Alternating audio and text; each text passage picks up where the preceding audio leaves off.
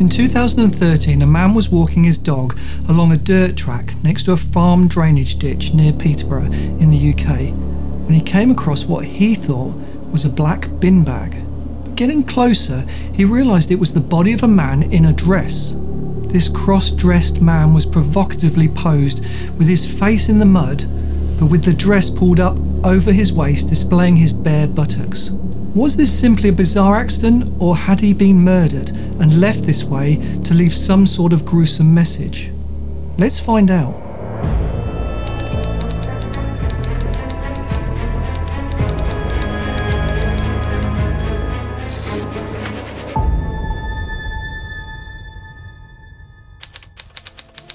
Joanna Dennehy was born in 1982 in St Albans in the UK. She had a great start to life with a normal childhood in a stable home with her dad, Kevin, and her mum, Kathleen. She did very well at school, even having big plans to become a lawyer. But things took a turn for the worse when Dennehy entered her teenage years. At 15, she ran away from home several times and started drinking and taking drugs. Age 16, she left home completely and started living with 21 year old John Treanor, still heavily into drink and drugs. And at 17, she gave birth to the first of two children, both of whom would eventually be taken off her by her estranged partner, Treanor. Around 2012, after serving a few short prison sentences for petty crimes, she moved to shared housing in Peterborough, and that's when things got really bad. Fellow housemate Lukas Slaboszewski was a 31 year old Polish economic migrant who moved to the UK in 2005. He intended to start a new career, to build a new life, and to find a partner to share that journey with him. Unfortunately for Lukas, though, his journey ended with Dennehy. After only a few days of meeting her, texting a friend, he said that life was beautiful and that he had a new girlfriend Little did he know what this evil woman had planned for him. Infatuated by Dennehy, on the 19th of March 2013, he received a suggestive text from her offering him sex. Excited by the prospect of furthering their relationship, Lucas bathed, put on his best clothes, and knocked on Dennehy's bedroom door in the house that they shared together. Walking in, he found her in bed, dressed just in lingerie. Excited, he started to undress, but as he removed his shirt, Dennehy unexpectedly pulled a knife from under her pillow and forced it deep into his chest, killing him almost instantly. Pulling out the knife, and with the deathly whine coming from Lucas, blood started pouring out all over the bed and partly over the semi naked Dennehy. Relishing in the climactic moment, she watched as his lifeless body slumped forward onto the bed. Lucas was dead and after the excitement passed, the realism of what to do with the body set in. In order to give her time to decide on how to dispose of it permanently, she put the body in a wheelie bin outside the house, leaving it there for two days. And as if that wasn't bad enough, Dennehy even made the point of showing the corpse to a 14 year old child she had befriended. How sick is that? To aid her, Dennehy called on the help of Gary Richards, who was also known as Stretch, a giant of a man standing over seven feet tall. This larger than life, small time criminal was besotted by her seductive nature, one of many allies she controlled with the use of sex. Stretch bundled Lucas's decomposing body into the trunk of his car, and he and Dennehy drove to the outskirts of Peterborough, dumping the corpse in a farmland ditch. John Chapman was a brave man. The 56 year old fought for his country during the Falklands War in the Royal Navy, but had fallen on hard times, and after the sad death of his wife, he turned to drink. After a few days after the evil slaughter of Lucas Slaboszewski, Dennehy moved into the bedsit in the same house as Chapman. They did not get on, with him referring to her as the mad woman, so Dennehy wanted him out.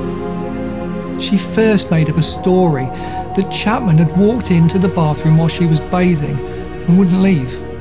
But after that failed to get him removed, she hatched a plan which involved getting him drunk. In the early hours of the 29th of March, an intoxicated Chapman lay slumped on the sofa bed in his tiny bedsit. He was so drunk after being plied with alcohol all night by Dennehy that he was barely conscious. With the war veteran now completely incapacitated, the psychopathic Dennehy returned from her room with her killing knife. Chapman, in a drunken stupor, unaware of the horror that was about to begin, simply laid there and awaited his fate. Grabbing his hair and pulling his head sharply back, Dennehy sliced deep into Chapman's neck, severing an artery. As the blood came gushing out, Chapman, in his confused and paralysed state, probably attempted to defend himself. But after a second, and then a third, fourth, and fifth stab to the chest, the bloody dagger ripped into his heart, and any fight he had left was gone. After the frenzied attack was over, Dennehy lifted the knife and simply gazed as the blood of John Chapman dripped off the tip. She then cleaned it on the bed sheets, walked out of the room, and locked the door behind her. Over many months prior to the murder of her first two victims, Dennehy had built a very close relationship with her landlord, Kevin Lee. The 48 year old was a much loved husband and father, but due to bad judgment on his part, he allowed himself to get caught up in Dennehy's life. Because of her aggressive nature, Lee even offered Dennehy a job collecting rent for the many properties he owned in the area. And just like the other men she controlled, he became infatuated with her. And they started a torrid affair, often indulging in extreme sex games. So secure in their relationship, Dennehy even took Lee to the wheelie bin and showed him the twisted dead corpse of Lucas Slaboszewski before the remains were disposed of. And you would have thought that after seeing firsthand what this evil woman was capable of, Lee would have run a mile. But no, he didn't. Hours after the murder of her second victim, John Chapman, Dennehy invited Lee back to her room where she had killed Lucas to play a sadomasochistic sex game, something they had done before. It was suggested that she wanted Lee to wear a dress and she would rape him. Lee, excited by this prospect, hurried over to the property where he found Dennehy and one of her black sequin dresses laid out on the bed. Stripping naked and struggling to get into the tight fitting dress, Lee began to roleplay their extreme sexual fantasy. Being pinned to the bed with Dennehy straddling Lee, she held his hands above his head to stop him struggling. Lee's fantasy was being played out, but unbeknown to him, Dennehy had reached under the pillow and pulled out the knife that she had already used on her first two victims. Unable to move due to the submissive position, Lee watched as the knife was raised above her head before, in one swift movement, it was buried deep into his chest. Still with his life flowing, Lee fought back, but it was no use. Dennehy was strong and unleashed another four stabs into his body, penetrating both his lungs and his heart. And as life drained from the bloodied body of Lee, Dennehy climbed off her third victim and sat watching as he fell silent. With two more victims laying lifeless in two different houses, Dennehy once again called her friend Gary Stretch to act as an undertaker to help with the bodies, with her apparently singing the Britney Spears song, Oops, I've Done It Again, down the phone.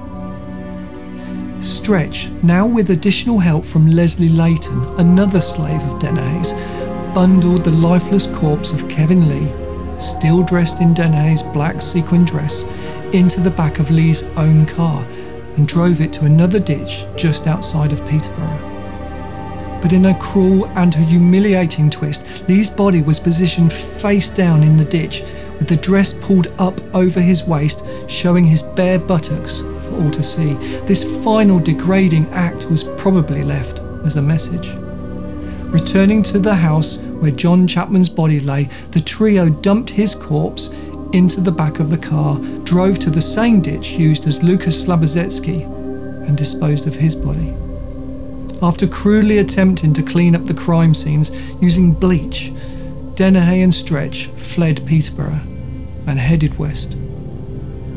After being reported missing by his wife, Kevin Lee's body was found by a local dog walker, and due to his mobile phone records, Dennehy was now on the police's wanted list. So the chase was on. For the next few days, the pair enjoyed their freedom, referring to themselves as modern day Bonnie and Clyde. They took photos, acted like they didn't have a care in the world, even with the memories of the murders that were still fresh in their minds. But then, on the 2nd of April, arriving in Hereford and driving slowly through the town, Dennehy shouted, I want my fun! You need to find me someone! Stretch pointed at a random man walking his dog and said, Will he do? Calmly getting out of the car, Dennehy walked up behind 63 year old retired fireman Robin Bereza. And before he even noticed her there, Dennehy stabbed him in the back and then in the arm. Turning around, Bereza shouted, What on earth are you doing? To which Dennehy replied, I want to hurt you. I'm going to kill you. The two continued to fight into the road before Dennehy abruptly returned to her car only because a member of the public drove into the street. Severely injured, Bereza lived, but only due to the swift action of the medical services that day. After driving slowly away, Dennehy turned to Stretch without saying a word and kissed him on the cheek. But she still wasn't satisfied. She still needed to kill someone. And just 10 minutes later, they came across 56 year old John Rogers, again a man walking his dog. In a similar action, Dennehy left the car, walked up behind her victim, but this time started stabbing him repeatedly, in fact, more than 30 times. Leaving the poor man for dead and even taking his dog, Dennehy once again returned to the car and they calmly drove away. Thankfully, though, John Rogers survived his encounter with Dennehy, but only just. In no attempt to flee, local police were able to promptly surround the area and they found Dennehy still in the car. Without fuss, she calmly surrendered and was taken into custody. Under police interrogation, she showed no remorse or concern over the gruesome killings. She even joked and flirted with the police officers. Court psychiatrists diagnosed Dennehy as suffering from a severe emotionally unstable personality disorder, an antisocial personality disorder, paraphilia sadomasochism, and a psychopathic disorder. But I can't help thinking that's probably not even half of it. In February 2014, Dennehy got a whole life sentence, one of only two currently running in the UK for women, the other being Rose West. Her partner in crime, Gary Stretch, got a minimum term of 19 years. And in one final bizarre twist, in 2019, Dennehy was moved to the same prison as the infamous serial killer Rose West. But after Dennehy threatened to kill her, they had to move Rose for her own safety. Personally, I'd have locked them in a cell together and thrown away the key. Hi, thanks for watching our twisted tale, Joanna Dennehy, the Fenland Femme Fatale. If you enjoyed it, then please stab that like button and consider sharing. If you really like what we do, then please subscribe. It'll really help us out. And just a quick shout out to one of our loyal subscribers, Alfred Glitchcock, who suggested Joanna Dennehy as a twisted tale. Thanks, Alfred. If you know of an interest in twisted crime, then please let us know by commenting below. Good night and keep safe.